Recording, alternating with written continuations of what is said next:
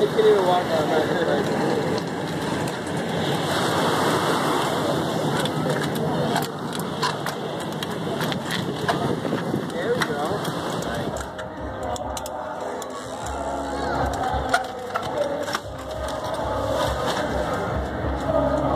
I sure hope nobody was in there.